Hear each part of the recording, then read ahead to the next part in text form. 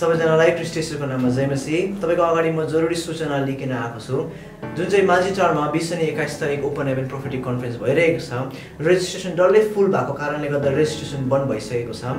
तर good news चाहिँ के छ भनेदेखि जो जसले तपाईँले यहाँनिर आउन चाहनुहुन्थ्यो तर तपाईँले अब रेजिस्टर गर्नु सक्नु भएन तपाईँको निम्ति अझै पनि open heaven prophetic conference Siliguri अनि दार्जिलिङमा भइरहेको छ। सिलगढीमा चाहिँ सत्र अनि अठार तारिक मार्चमा दुई हजार तेइसमा भइरहेको छ हिमकोश भवनमा।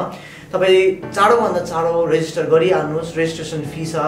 एक हजार पाँच सय रुपियाँ। अनि तपाईँको अगाडि जुन चाहिँ डिटेल्सहरू स्क्रिनमा आइरहेको छ तपाईँले यो डिटेलमा कन्ट्याक्ट गर्नुभयो वाट्सएप गर्नुभयो नभए तपाईँले कल गर्नुभयो भने पनि तपाईँलाई अब डल्लै यो रेजिस्ट्रेसन कसरी गर्नुपर्ने त्यो तपाईँलाई सिकाइन्छ अनि तपाईँले गर्नु सक्नुहुन्छ।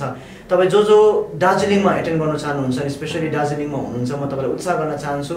चाँडोभन्दा चाँडो दार्जिलिङमा रेजिस्टर गरिहाल्नुहोस् किनभने दार्जिलिङमा पनि ओपन एभेन प्रोफेटिक कन्फरेन्स भइरहेको छ भानुभवनमा तेइसदेखि लिएर पच्चिस तारिक मार्चसम्म। अनि रेजिस्ट्रेसन फी चाहिँ छ पाँच सय रुपियाँ तपाईँको अगाडि स्क्रिनमा जुन चाहिँ डिटेल्स आइरहेको छ यो डिटेल्सद्वारा चाहिँ तपाईँले दार्जिलिङको लागि रेजिस्ट्रेसनको निम्ति कन्ट्याक्ट गर्नु सक्नुहुन्छ।